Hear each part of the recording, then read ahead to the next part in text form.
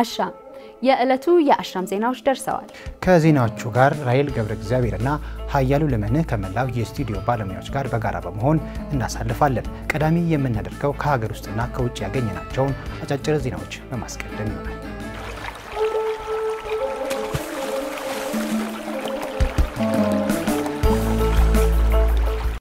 በቅድሚያም ከሀገር ውስጥ አጫጭር ዜናዎች እንጀምራለን። የኢትዮጵያ ደረጃዎች ኤጀንሲ 285 ደረጃዎችን አጸደቅኩኝ አለ። ኤጀንሲው ከደረጃ ዝግጅት ክፍል ከተውጣጡ ባለድርሻ አካላት ጋር በመሆን በሰላሳኛው የደረጃዎች ምክር ቤት ስብሰባው ነው ደረጃዎችን አጸደቅኩኝ አለው። በስድስት ዘርፎች የተለያዩ ደረጃዎችን ማጽደቁንም ነው የደረጃዎች ኤጀንሲ ኮሚኒኬሽን ዳይሬክተር አቶ ይስማ ጅሩ ለአሻም በስልክ የነገሯት።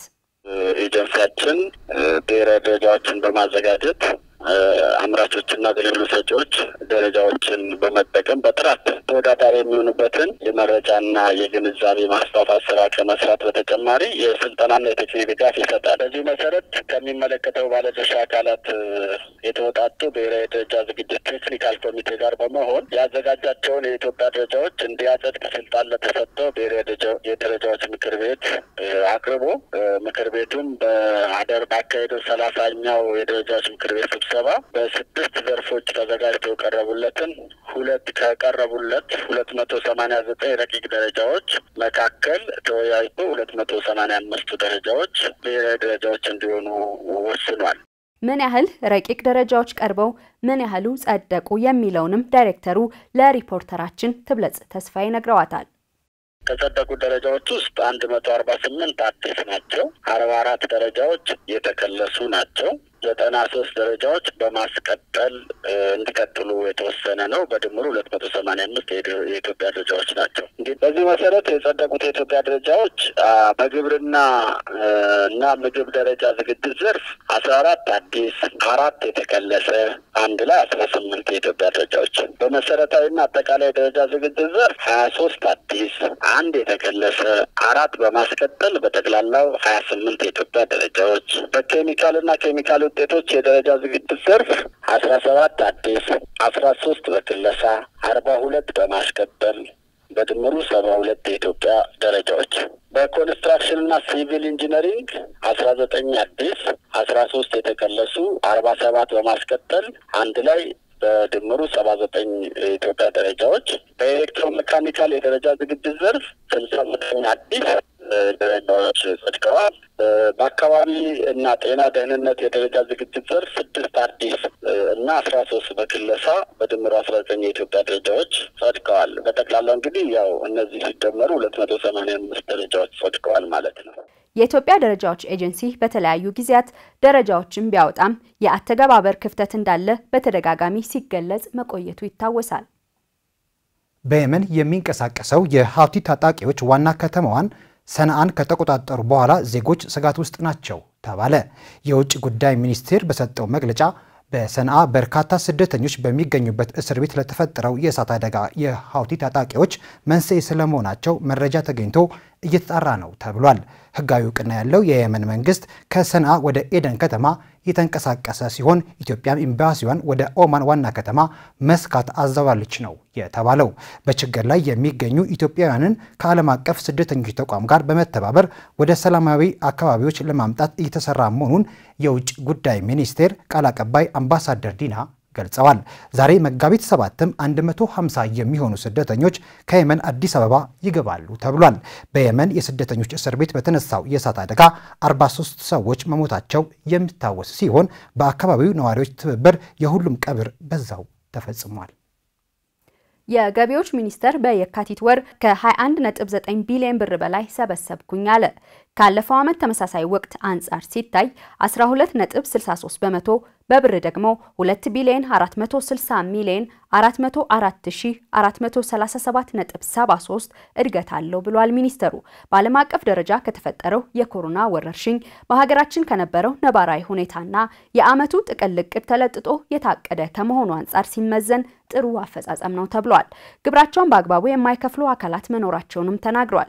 ከግብር ከፋዮች ወገን ደረሰኝ አለመቁረጥ፣ የግብይት ዋጋ አሳንሶ ደረሰኝ መቁረጥ፣ በሐሰተኛ ማንነት የፈጠራ ድርጅቶችን በመመስረት ሐሰተኛ ደረሰኞችን አሳትሞ መጠቀምና መሸጥ፣ ወጪን ማሳበጥ እንዲሁም ሆን ብሎ ገቢን መቀነስና ግብርን ለማሸሽ ለመሰወር የሚደረጉ እንቅስቃሴዎች ስለመኖራቸው ሚኒስተሩ በማህበራዊ ገጹ ካወጣው መረጃ ተመልክተናል። ባለፉት ሶስት ዓመታት የፍጥነት ገደብ ተላልፏል የተባሉ 35 ሺህ ተሽከርካሪዎች ላይ እርምጃ ተወስዶባቸዋል ተባለ። ይህን ያለው የአዲስ አበባ ትራንስፖርት ቢሮ ነው። ቢሮው ለአሻም በላከላት መግለጫ በፍጥነት ማሽከርከር ላይ የተጠናከረና የተቀናጀ የትራፊክ ቁጥጥር በማድረግ የትራፊክ አደጋን መቀነስ ላይ እየሰራ እንደሆነም ይታወቅልኝ ብሏል። በዚህ መሰረት ከ2010 እስከ 2012 ዓ ም ድረስ የፍጥነት ገደብ በጣሱ 35000 ተሽከርካሪዎች ላይ እርምጃ ወስጃለሁ ብሏል። ከፍጥነት ወሰን በላይ ማሽከርከር የሞትና ከባድ የአካል ጉዳት ከሚያስከትሉ የትራፊክ አደጋ መንስኤዎች ዋነኛው መሆኑን ማረጋገጥ እንደተቻለም ተገልጿል። በአዲስ አበባ ከሚገኙ አጠቃላይ ተሽከርካሪዎች መካከል ከግማሽ በላይ የሚሆኑት የከተማዋን የፍጥነት ወሰን ሕግ እያከበሩ እንዳልሆነ የጆንስ ሆፕኪንስ ዩኒቨርሲቲ ዓለም አቀፍ የትራፊክ ጉዳት ጥናት ቡድን መረጃ ያመለክታል። በኢትዮጵያ በመንገድ ትራፊክ አደጋ ሳቢያ በየቀኑ በአማካይ ከ11 የማያንሱ ሰዎች ሕይወት የሚቀጠፍ ሲሆን ባለፈው በ2012 በጀት ዓመት 4133 ዜጎች በትራፊክ አደጋ ምክንያት ሕይወታቸውን አጥተዋል። ከ12000 በላይ የሚሆኑ ሰዎች ላይ ቀላል እና ከባድ የአካል ጉዳት ደርሶባቸዋል። 9 ቢሊዮን ብር የሚጠጋ ንብረት መውደሙን የአዲስ አበባ ትራንስፖርት ቢሮ ከላከልን መረጃ ተመልክተናል። የአዲስ አበባ ከተማ አስተዳደሩ ለሸገር ዳቦ የስንዴ ድጎማ እንደሚያደርግ ተናገረ። በቀን 900 ሺህ ሲያመርት የነበረውና ለበርካታ የከተማዋ ነዋሪዎች ቀለብ ይሆናል ተብሎ የነበረው ሸገር ዳቦ እንደታሰበው ብዙ ሊዘልቅ አልቻለም። ለዚህ ደግሞ አንዱ ምክንያት የስንዴ አቅርቦት ውስንነት ነው። የከተማዋ አስተዳደሩ ያጋጠመውን የስንዴ እጥረት ለመቅረፍ ለሚቀጥሉት ሁለት ወራት የሚያገለግል 100 ሺህ ኩንታል ስንዴ ድጋፍ ለማድረግ መስማማቱን አስታውቋል። በዚህም ታዲያ 900 ሺህ ዳቦ በቀን ሲያመርት ከነበረው ወደ 1.5 ሚሊዮን ዳቦ በቀን ማምረት ያስችለዋል ሲል ከአዲስ አበባ ከተማ አስተዳደር ከንቲባ ጽሕፈት ቤት ፕሬስ ሰክረተሪ ያገኘነው መረጃ ያመለክታል።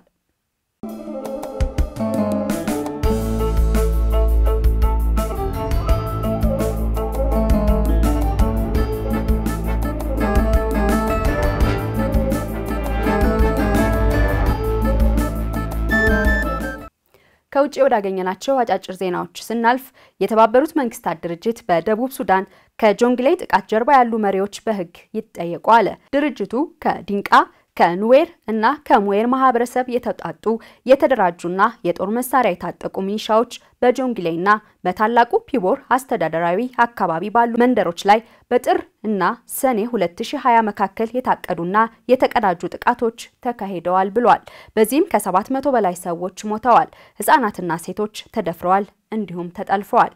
በጥቃቱ ታዲያ የጸጥታ ኃይልና የፖለቲካ መሪዎች የብሔር አለቆች፣ የሃይማኖት መሪዎች በቀጥታም ሆነ በተዘዋዋሪ ድጋፍ ሲያደርጉ እንደነበር ነው በመንግስታቱ ድርጅት የሰብአዊ መብቶች ጽሕፈት ቤት ባወጣው መግለጫ ያሳወቀው።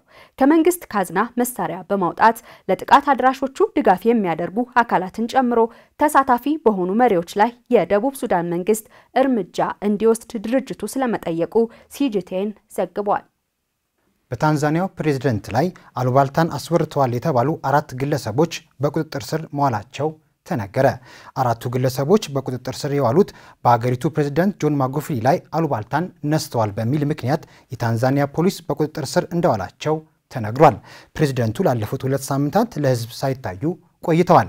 ይህ ደግሞ በሀገሬው ህዝብ ዘንድ የጠፉ በሚል መነጋገሪያ ሆነው ሰንብተዋል። አንዳንዶቹ ፕሬዝደንቱ በሚሰለቁበት ኮቪድ-19 ተይዘው እየታከሙ ነው የሚል መረጃን አሰራጭተዋል። ይህን ተከትሎ በማህበራዊ ትስስር ገጾች መነጋገሪያ ሆነው ሰነበቱ። ይህን ተከትሎ ጠቅላይ ሚኒስትር ካሊም ማጂዋሊ ማጉፍሊ ስራቸውን በሰላምና በጤና እየሰሩ ስለመሆናቸው አርብ ዕለት ተናገሩ። ሰውየው ደህና ናቸው፣ በየቀኑ ለህዝባቸው በቴሌቪዥን የመታየት ግዴታ የለባቸውም ፕሬዝዳንት እንጂ ዜና አንባቢ አይደሉም የሚሉ ሀሳቦች መንሸራሸር ጀመሩ። አሉባልታ አውርታቸዋል በሚል ሰበብም ከታንዛኒያ የተለያዩ ክፍሎች የሚኖሩ አራት ዜጎች ታስረዋል ነው የተባለው። ሰኞ ዕለት ደግሞ የታንዛኒያው ምክትል ፕሬዚደንት ሳሚያ ሱሉሁ ታንዛኒያውያን እባካችሁ ሐሜትና አሉባልታ አትስሙ ሲሉ ህዝባቸውን ስለመምከራቸው ቢቢሲ ዘግቧል። አንድ ሰው መታመሙ፣ ጉንፋን መያዙ፣ ትኩሳትን ቢኖረው ብርቅ አይደለም። አንድነታችን ላይ ማተኮር ያለብን ጊዜ አሁን ነው። በጸሎት አንድ መሆን አለብን ብለዋል ምክትል ፕሬዚደንቱ።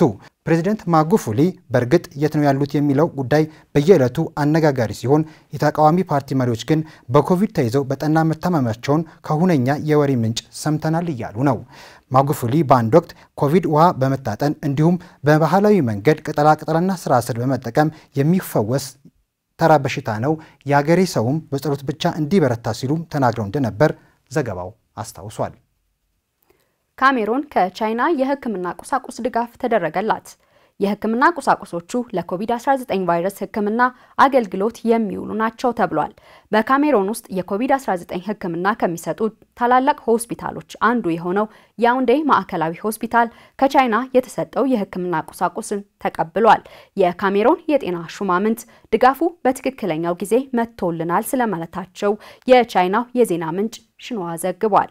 የያውንዴ ማዕከላዊ ሆስፒታል ዳይሬክተር የሆኑት ፔር ጆሴፍ ፎዳ ይህ የሚያድግ የትብብር ጅምር ነው ብለዋል። ቻይና ያደረገችው ድጋፍ በአፍሪካና ቻይና ሆስፒታሎች መካከል ከሚደረጉ ትብብሮች አንዱ አካል ነው ስለመባሉም ዘገባው አመላክቷል። በአሜሪካና ሜክሲኮ ድንበር አካባቢ የህፃናት ስደተኞች ብዛት ጨምረዋል ተባለ።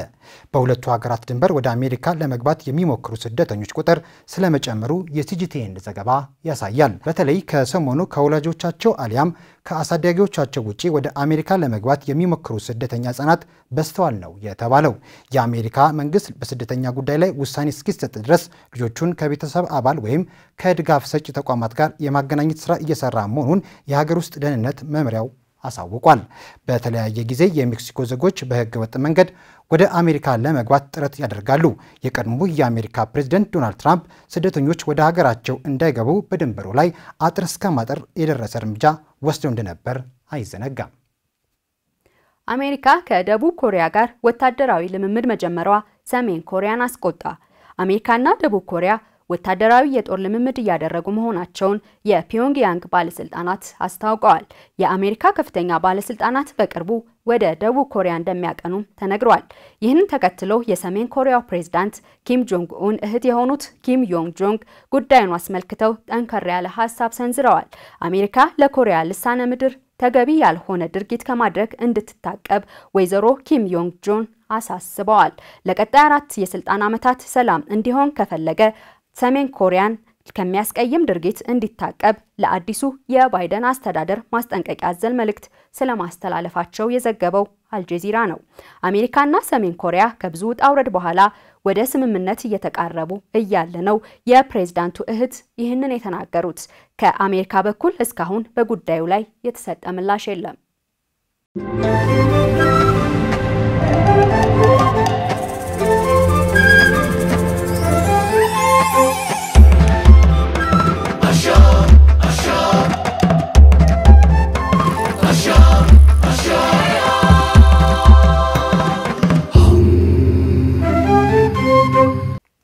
ከአሻም ቴሌቪዥን ጋር ስላላችሁ እናመሰግናለን። ዜናዎቻችን ቀጥለዋል። በዝርዝር ወደምንመለከታቸው ዜናዎቻችን ስናልፍ ኢትዮጵያ በታላቁ የህዳሴ ግድብ ድርድር ላይ ተጨማሪ አካላት ይግቡ የሚለው ሀሳብ በይፋ አልቀረበላትም ተባለ። የግብፅና የሱዳን ባለስልጣናት በግድቡ ድርድር ላይ የተባበሩት መንግስታት ድርጅትን ጨምሮ አራት አካላት ይሳተፉ ያሉትን ሀሳብ የኢትዮጵያ መንግስት እንደማያውቀው የውጭ ጉዳይ ሚኒስቴር አሳውቋል። የሚኒስትሩ ቃል አቀባይ አምባሳደር ዲና ሙፍቲ በሰጡት ሳምንታዊ መግለጫ በትግራይ ክልል የሰላምና ሰብአዊ እንዲሁም በሱዳን ድንበር ጉዳይ ላይም ማብራሪያ ሰጥተዋል። ኤልያስ ክፍሌ መግለጫውን ተከታትሎታል። ከሳምንት በፊት የግብፁ ፕሬዝዳንት አብዱልፈታህ አልሲሲ ወደ ሱዳን ተጉዘው የሉዓላዊ ምክር ቤቱ መሪ ጀነራል አልቡርሃን ጋር በተገናኙበት ወቅት በታላቁ የኢትዮጵያ ህዳሴ ግድብ ዙሪያ የሚደረገው ድርድር ላይ የአውሮፓ ህብረት፣ አሜሪካ፣ የተባበሩት መንግስታት ድርጅትና የአፍሪካ ህብረት እንዲሳተፉ እንደሚፈልጉ አስታውቀው ነበር። የውጭ ጉዳይ ሚኒስቴር ቃል አቀባይ አምባሳደር ዲና ሙፍቲ ለጋዜጠኞች በሰጡት ሳምንታዊ መግለጫ ከሱዳንና ግብጽ በኩል የተነሳው ጥያቄ ለኢትዮጵያ መንግስት በይፋ አልቀረበም ብለዋል። ሀሳቡ ቢቀርብም የኢትዮጵያ መንግስት ለአፍሪካ ችግር አፍሪካዊ መፍትሄ ያስፈልጋል በሚለው አቋም ጸንቶ እንደሚቀጥል አምባሳደር ዲና ሙፍቲ ገልጸዋል። ሁለት ነገሮችን ነው መረጃ ምሰጣችሁ እዚህ ላይ አንደኛ officially ኢትዮጵያ በዚህ በኩል የደረሰን ነገር የለም። እኛ አሁን quartet ውስጥ ይቅረቡ ከተባሉት ሀገሮች ጋር ሁሉም ጋር ወዳጆች ነን፣ ችግር የለብንም። እነሱ ስለሚገቡ ስለሚወጡ የሚፈጠር የሚፍታምር የለም። ነገር ግን በመርህ ደረጃ የተስማማንበት methodology አለ። ስለዚህ በዛ ለምን አንሄድም የሚል ነው አንድ። ሁለተኛ ለአፍሪካ ህብረት ትልቅ አክብሮት አለን። አፍሪካ ህብረት የጀመረው መርህ አለ። አፍሪካ ህብረት የአፍሪካን ችግር በአፍሪካውያን መፍታት በሚል መንፈስ እየተመራ ያለ ከዚህ ቀደም ደግሞ ደቡብ አፍሪካኖች እስካሁን የገፉትና ያመጡትን ነገር አሁን ኮንጎ ተቀብሏል። ለምንድን ነው በዚህ የማንቀጥለውና ውጤት የማናገኘው የሚል ቅን የሆነ አስተያየት ነው። የህዳሴው ግድብ ድርድር በሶስቱ ሀገራት ብቻ የሚደረግ ከሆነ የግድቡ ሙሌት ስለደረሰ ስላልደረሰ ሳይሆን ኢትዮጵያ በማንኛውም ጊዜ የሶስትዮሽ ድርድሩን ለመቀጠል ዝግጁ መሆኗንም አምባሳደሩ ገልጸዋል። በመግለጫው ላይ የኢትዮጵያ መንግስት ከሱዳን ጋር ባለው የድንበር ጉዳይ ላይ ዝምታን አብዝቷል፣ ለምንድን ነው ተብሎ ለተነሳላቸው ጥያቄ ቃል አቀባዩ ምላሽ ሲሰጡ በዲፕሎማሲያዊ መንገድ መናገር ላለብን አካላት ስለ ጉዳዩ እያሳወቅን ነው ብለዋል። የኢትዮጵያ ሱዳን ጉዳይ ለምን ዝም ተባለ የሚለው well officially ባናጫጩህም ግን ተገቢ በሆነ መንገድ በ diplomatic channel ለእነሱ ወዳጆችም ለጋራ ወዳጆቻችን ለእኛ ለግል ወዳጆችም ጥሩ ነገር አይደለም እየሰሩት ያሉት። ይህን ነገር ቢተውት ጥሩ ነው፣ አያዋጣቸውም። እኛ የሱዳን ህዝብ ወዳጅነት እንፈልጋለን። ለሱዳን ህዝብ ጋር አሁንም ዘላቂ የሆነ ወዳጅነት መገንባት እንፈልጋለን የሚለውን ነገር በየጊዜው advance እያደረግን ያለንበት ሁኔታ ነው ያለው። ዲፕሎማሲ የማይክሮፎን ዲፕሎማሲ አለ፣ off the microphone ም አለ። ስለዚህ ከማይክሮፎን ውጭ በመሆኑ ምናልባት ካልሆነ በስተቀር ዝም ብሎን ተመችቶን መሬታችን መያዙ ቅር ሳሰኘን ነው ብሎ አይቻልም። አምባሳደር ዲና ሙፍቲ በሰጡት መግለጫ መቀመጫቸውን አዲስ አበባ ያደረጉ የውጭ ሀገራት አምባሳደሮች በትግራይ ክልል ያለውን ወቅታዊ ሁኔታ እንዲመለከቱ መደረጉን አስታውሰው አያይዘውም በዚህ ሳምንት ከአራት ነጥብ ሁለት ሚሊዮን በላይ ዜጎች እርዳታ ደርሷቸዋል ብለዋል። ነገር ግን አሁንም የሚቀርበው ድጋፍና የተረጂዎች ቁጥር አልተመጣጠንም ተብሏል። ከዚህ ጋር በተያያዘ ኢትዮጵያ በአየርላንድ የሚገኙ አምባሳደሯን በቅርቡ መጥራቷ የሚታወስ መሆኑን በማንሳት የሁለቱ ሀገራት ግንኙነት ላይ የተፈጠረው ምንድን ነው የሚል ጥያቄ ለአምባሳደር ዲና ሙፍቲ ከጋዜጠኞች ቀርቦላቸዋል። አየርላንድ ከኢትዮጵያ ጋር የሰባ ሰባቱን ድርቅ ጨምሮ በክፉም በደጉም ለረዥም ጊዜ የቆየ ግንኙነት ያላቸው ሲሆን አሁንም በተራድኦ ስራዎች ሚና ካላቸው ሀገራት በኢትዮጵያ ግንባር ቀደም ናት። አምባሳደር ዲና ሙፍቲ እንደገለጹት የአየርላንድ መንግስት በተባበሩት መንግስታት ድርጅት የጸጥታው ምክር ቤት ፊት ስለ ኢትዮጵያ ያስተላለፉት መልእክት የኢትዮጵያን መንግስት ያስከፋ በመሆኑ በአየርላንድ የኢትዮጵያ አምባሳደርን በዚህ ላይ ማማከር አስፈልጓል ብለዋል። እኛ ከአየርላንድ ህዝብ ጋር ከአየርላንድ መንግስት ጋር ረዥም ጊዜ ጥሩ ግንኙነት ነበረን። አየርላንድ ታስታውሱ እንደሆን በረሃቡ ጊዜ ጭምር በምነ ጌልዶፍ አማካኝነት እና በመሳሰሉት We are the world እያሉ ለኢትዮጵያ ትልቅ ስራ የሰሩ ሰዎች ያፈራች ሀገር ናት። በኢትዮጵያም የልማት ተራድኦ ውስጥ በተለያዩ ሀገራችን ክፍሎች ጥሩ ነገር ሲሰራ የነበረች ሀገር ናት። ዛሬ ግን በኢትዮጵያ ጉዳይ ላይ በተባበሩት መንግስታት ድርጅት የጸጥታ ጥበቃ ምክር ቤት መድረክ ላይ እየሰሩት ያለው ነገር ነባራዊ ሁኔታን የሚመጥን አይደለም ነው። ይህንን ለአይርላንድ መንግስት ባለን ዲፕሎማቲክ ቻናል ሁልጊዜ እንገልጻለን፣ ገልጸናል። አሁንም ቢሆን ከአምባሳደሩ ጋር ስለዚህ ጉዳይ ለመመካከር ነው የተጠሩት ማለት ነው። የኢትዮጵያ መንግስት በትግራይ ክልል የደረሰውን የሰብአዊ መብት ጥሰት የሚያጣራ ቡድን እንዲገባ መፍቀዱን ተከትሎ መንግስት የምርመራውን ውጤት እንደሚቀበልም የውጭ ጉዳይ ሚኒስቴር ቃል አቀባይ ገልጿል።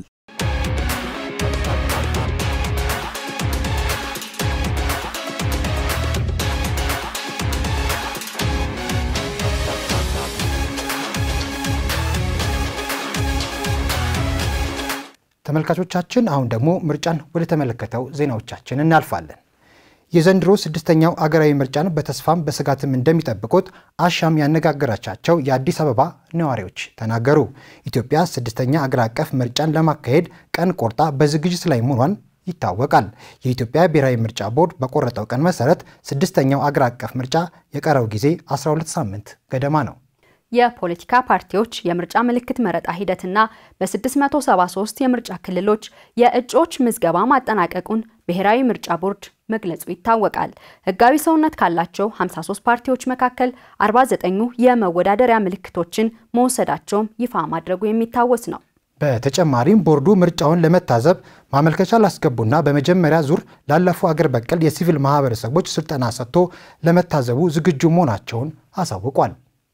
በአሁኑ ወቅት ፓርቲዎች በይፋ የምርጫ ቅስቀሳቸውን እያካሄዱ ነው። በተቀመጠው የጊዜ ሰሌዳ መሰረት ሌሎች ቀሪ ተግባራትን ከውነው ለሀገር አቀፉ ምርጫ ሙሉ በሙሉ ዝግጁም እንደሚሆኑ እየገለጸ ይገኛል።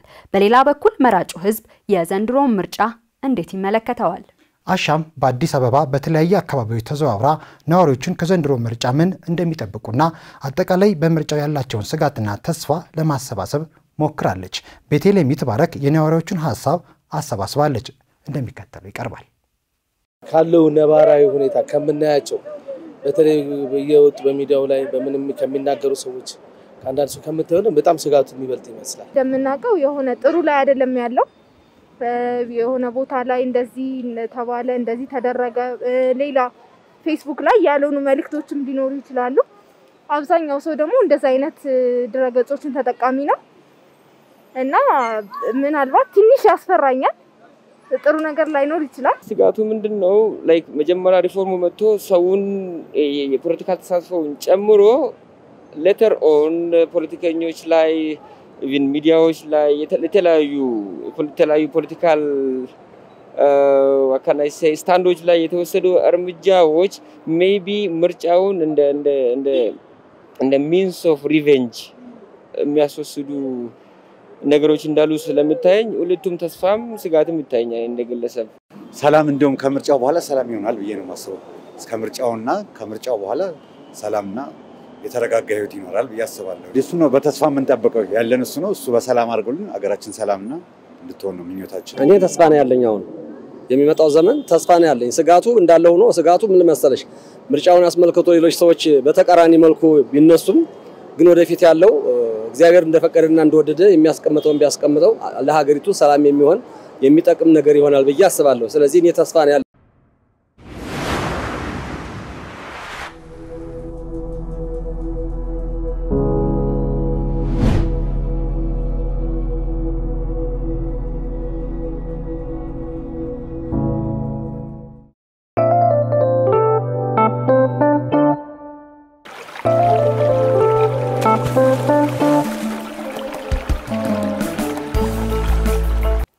ከዘንድሮ ምርጫ ጋር በተያያዘ የመራጩ ህብረተሰብ ስጋት ውስጥ እየከተተው ያለ የሀገሪቱ ሁኔታ ያለችበት አለመረጋጋትና ግጭት የወለደው ነው ተባለ። በዘንድሮ ስድስተኛው ሀገራዊ ምርጫ ተስፋም ስጋትም አለው የሚሉ ሀሳቦች ይደመጣሉ። ምርጫው ላይ ተስፋ አለን ከሚሉ አስተያየቶች ጀምሮ ከዚህም ከዚያም ብቅ የሚሉ ግጭቶችን የሚያባብስ እንዳይሆን ስጋት አለን የሚሉ የፖለቲካ ሰዎችና ምሁራን አስተያየታቸውን ሲሰጡ ይደመጣል። በዚሁ የዘንድሮ አገራዊ ምርጫ ላይ አሻም ያነጋገራቻቸው ምሁር የመራጩ ህብረተሰብ ክፍል ስጋት በተለያዩ አካባቢዎች ላይ ያለው አለመረጋጋትና የዜጎች ጥቃት ሊሆን ይችላል ብለዋል። ይህ ምርጫ የታለመለትን ግብ እንዲመታም እያንዳንዱ በኃላፊነት መስራት አለበት ብለውናል። ዶክተር ታዬ ብርሃኑ ይህንንና ሌሎች ምርጫውን በተመለከተ ያላቸውን ምሁራዊ እይታቸውን አካፍለውናል። ቤተልሔም ይትባረክ አነጋግራቸዋለች። እንደዚህ ይቀርባል።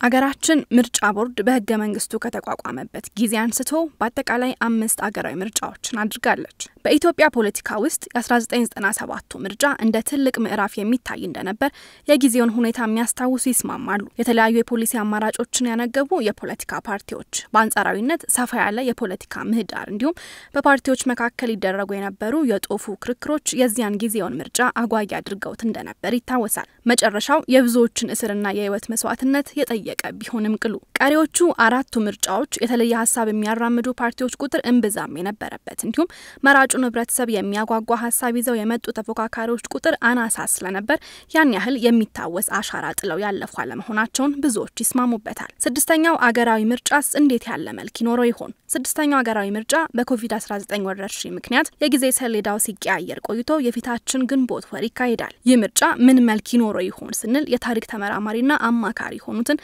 ዶክተር ታዬ ብርሃኑን ጠይቀናል። ምርጫ ምርጫ በምርጫነት የምናየው አገራዊ ፋይዳ ስላለው ነው። አንደኛው ምርጫ የዲሞክራሲ አካል ነው። የዲሞክራሲ አካል የዲሞክራሲ አካል ስንል ደግሞ ህዝብ መሪዎቹን የሚመርጥበት መሪዎቹን የሚመርጥበት መምረጥ ብቻ ሳይሆን መምረጥ ብቻ ሳይሆን በተጠያቂነት በተጠያቂነት የሚያስቀምጥበት የህዝብ መብት የህዝብ መብት መገለጫ ነው እና ይህንን መብቱን ይህንን መብቱን የሚያሳይበት የሚወስደው ሁኔታ ስለሆነ ሁኔታ ስለሆነ ምርጫውን ምርጫውን ተስፋ የምንጥሩ ተስፋ የምናይበት አድርገን አድርገን ስለዚህ ይህንን ምርጫ ይህንን ምርጫ እንደ ማንኛውም ኢትዮጵያዊ ማንኛውም ኢትዮጵያዊ በግሌ የምጠብቀው ነው። ኢትዮጵያ የተሳካ ምርጫ በማድረግ ረገድ የተሳካላት አገር ናት ማለት አይቻልም። ከምርጫ ጋር ተያይዞ ስሟ በጥሩ አይነሳም። ታዲያ በመጪው የፊታችን ግንቦት 28 ሊካሄድ ቀን የተቆረጠለት ስድስተኛው ሀገራዊ ምርጫስ ከቀደሙት ምርጫዎች በምን ሊለይ ይችላል የሚለው ለዶክተሩ ያቀረብንላቸው ጥያቄ ነበር። ተስፋን ሰንቆ የመጡበት ነው። ከፖለቲካ ፓርቲዎች ከመቶ ፓርቲዎች ወረድ ብሎ አነስ ብሎ ለመወዳደር የተዘጋጁበት ቦርዱ ደግሞ የምርጫ ብሔራዊ ቦርድ ካለፉት ሁሉ በተሻለ ሁኔታ ተጠናክሮ አመኔታዊን የያዘ ጥሩ አመራርን የያዘ የተገኘበት ስለሆነ ከአለፉት ጋር እንደዚህ ብሎ ያ ቦርድ በይስሙላነት ይታይ የነበረ የአሁኑ ደግሞ የተሻለ ውጤት ያስገኛል ተብሎ እምነት የተጣለበት እና ተስፋ የተጣለበት ሁኔታ ነው ያለ። በዚህ አገራዊ ምርጫ የመራጩ ህብረተሰብ ስሜት ስጋትም ተስፋም የጫረ እንደሆነ ቀደም ካለው የህዝብ አስተያየት ዘገባችን ለመረዳት እንችላለን። ስጋቱ አገሪቱ ካለችበት ወቅታዊ ሁኔታ አንጻር የተፈጠረ ነው ባይ ናቸው ዶክተር ታዬ። በዋናነት ሀገራችን ያለችበት ተጨባጭ ሁኔታ በውስጥም በውጭም ያለው ውጥረትን በትክክል ካላነሳ ነው ነው ብለንም ካላልነው ትክክል አይሆንም እና ያ ውጥረት የስጋት ምንጭ ነው።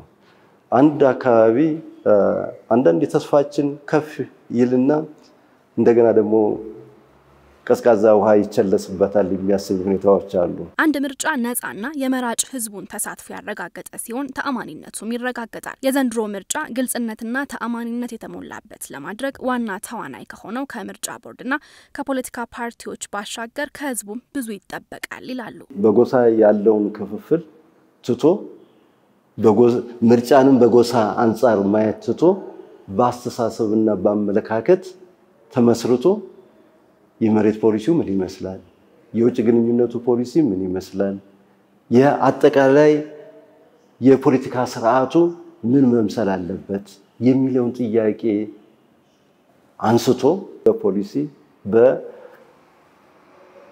በፖለቲካ ስርዓቱ ምን መሆን አለበት ከሚል ጋር ተዘጋጅቶ መጠበቅን ይጠይቃል።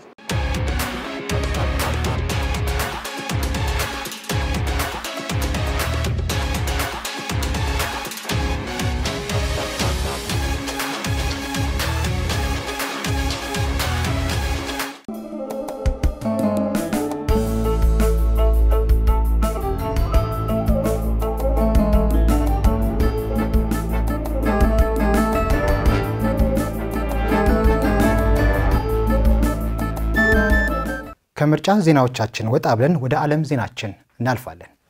የዓለም ጤና ድርጅት ባለሙያዎች አስትራዜኒካ ክትባት ሊገመግሙ ነው። አስትራዜኒካ የኮቪድ-19 ክትባትም የደም መርጋትን ያመጣል የሚል ክስ እየቀረበበት ነው። በዚህም የተነሳ የብዙ የአውሮፓ ሀገራት ክትባቱን ለዜጎቻቸው መስጠት አቁመዋል። ጀርመን፣ ፈረንሳይ፣ ጣሊያን እና ስፔን ክትባቱን መስጠት ያቆሙ አዲስ ሀገራት ሆነዋል። የዓለም ጤና ድርጅት በበኩሉ እየተነሳ ያለው ቅሬታ ከክትባቱ ጋር መገናኘቱ ስላልተረጋገጠ መከተባችሁን አታቋርጡ ብሏል። በሌላ በኩል የድርጅቱ የክትባት ደህንነት ባለሙያዎች ክትባቱን ለመገምገም ተሰባስበዋል። ይሁን እንጂ የዓለም ጤና ድርጅት ስለ ክትባቱ ያለውን አቋም የመቀየር እድሉ ጠባብ ነው ተብሏል። አማኑኤል ይልቃል ዝርዝር አለው። አስትራዜንካ የኮቪድ-19 ክትባት የኮሮና ቫይረስ መገኘት ከተሰማ በኋላ ከበለጸጉ የመጀመሪያዎቹ ክትባት መካከል ይጠቀሳል። በዋጋ ደረጃም ቢሆን ቅናሽ የሚያሳይ ክትባት ነው። እስካሁንም በዓለም ዙሪያ ሚሊዮኖች አስትራዜንካን ተከትበዋል። ክትባቱ ችግር ፈጥሯል የሚሉ ቅሬታዎች ትንሽ ሲሆኑ በቅድመ ምርመራ አስተማማኝነቱ የተረጋገጠ ነው ተብሏል። ይሁን እንጂ ከሰሞኑ አስትራዜንካን ለዜጎቻችን አንሰጥም የሚሉ ሀገራት በዝተዋል። ጀርመን፣ ፈረንሳይ፣ ጣሊያንና ስፔን ክትባቱን የማገድ ጎራ ውስጥ የተቀላቀሉ አዳዲስ ሀገራት ናቸው። ሀገራቱ ምክንያት ያደረጉትም ክትባቱን በወሰዱ ጥቂት ሰዎች ላይ የተከሰተ የደም መርጋትና ድንገተኛ መድማትን ነው።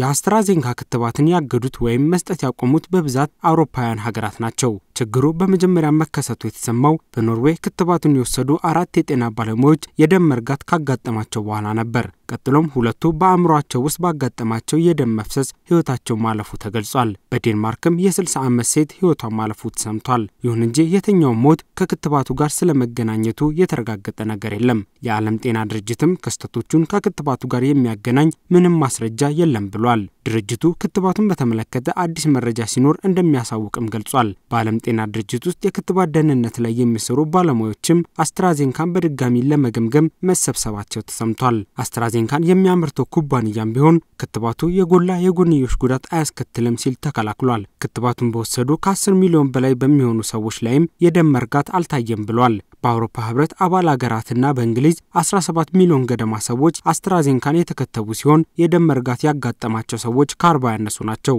ኩባንያው ክትባቱ ላይ እገዳ ከጣሉ ሀገራት ጋር በመሆን እየሰራ መሆኑን ተናግሯል። የጣሊያን የመድኃኒቶች ባለስልጣን ዋና ዳይሬክተር የአውሮፓ ሀገራት ክትባቱን ያገዱት በፖለቲካ ውሳኔ ነው ማለታቸውን ሮይተርስ ዘግቧል። ጣሊያንም ክትባቱን ያገደችው ጀርመንና ፈረንሳይ ክትባውን ማስተጓጎልን በመምረጣቸው ነው ብለዋል። ታዲያ አሁን የደም መርጋቱ ከአስትራዜንካ ጋር መገናኘቱ አልተረጋገጠም መባሉን ተከትሎ በአጠቃላይ ክትባቶች የደም መርጋትን ያስከትላሉ ወይ የሚል ጥያቄ እየተነሳ ነው። ተመራማሪዎችም እስካሁን ክትባቶች የደም መርጋትን ሲያስከትሉ ታይቶ እንደማይታወቅ ተናግረዋል። የደም መርጋት በብዙ ሰዎች ዘንድ የተለመደና በተደጋጋሚ የሚከሰት ነው። በአሜሪካ ከ300 እስከ 600 ሺህ ሰዎች በየዓመቱ የደም መርጋት ያጋጥማቸዋል። ይህም ማለት በየቀኑ ከአንድ እስከ 2 ሺህ ሰዎች የደም መርጋት ያጋጥማቸዋል እንደማለት ነው። ስለዚህ እንደ ባለሙያዎች ገለጻ ለምሳሌ በአንድ ቀን ውስጥ 23 ሺህ አዋቂ ሰዎች ቢከተቡ 10 ወይም 20 ሰዎች የደም መርጋት ያጋጥማቸዋል። ታዲያ ሰዎቹ ቢከተቡም ባይከተቡም የደም መርጋቱ ያጋጥማቸው ነበር። ታዲያ አሁን ያልተረጋገጠውና የክትባቱን ታማኝነት ጥያቄ ውስጥ እያስገባ ያለው የደም መርጋት ነገር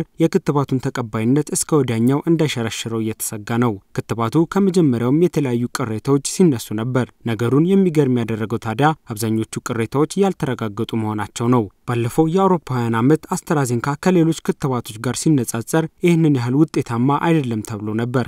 ይሄ ሀሳብ ሊነሳ የቻለውም በክትባቱ ሙከራ ጊዜ ለበጎ ፈቃደኞች ግማሽ መጠን ክትባት ተሰጥቷቸው በተሰራ ስህተት ነው። ቀጥሎም ክትባቱ በእድሜ ለገፉ ሰዎች አይሆንም የሚል ክርክር ተነስቶ ነበር። ይሁንና ይህም ቢሆን ያልተረጋገጠ ነው። አሁን ደግሞ አስትራዜንካ የደም መርጋትን ያመጣል የሚል ስጋት ሀገራት ዜጎቻቸውን እንዳይከትቡ አድርጓቸዋል። ታዲያ አስትራዜንካ ላይ የተነሱ ቅሬታዎች ያልተረጋገጡ ቢሆኑም ሀገራት ፊታቸውን ወደ ሌላ ክትባት እንዳያዞሩ ተሰግቷል። በተለይ አስትራዜንካ ውጤታማነቱ 60 በመቶ ሲሆን ፕፊዘር የተባለው ክትባት ደግሞ 95 በመቶ ነው መባሉ ቅሬታን አስነስቷል። ነገር ግን ባለሙያዎች ሁለቱ ክትባቶች መካከል ልዩነቶች ስላሉ ውጤታማነታቸውን በቀጥታ መለካት ተገቢ አይደለም እያሉ ነው። ይሁን እንጂ አስትራዜንካ ከሌሎች ክትባቶች በተለየ በመደበኛ የሙቀት መጠን ውስጥ መቀመጥ የሚችል መሆኑ ለማጓጓዝ ተመራጭ አድርጎታል። ዋጋው ዝቅተኛ መሆኑም ሌላው ክትባቱን ተመራጭ የሚያደርገው ምክንያት ነው። በአሻም ጋዜጠኞች የተዘጋጁ ዜናዎቻቸው ይህን ይመስል ነበር። ራሄል ገብረ እግዚአብሔርና ሀያሉ ልመንህ የዕለቱ ተረኛ አሳላፊዎች ነበርን። ከቀሪ የአሻም ፕሮግራሞች ጋር መልካም ተዝናኖት። ሰላም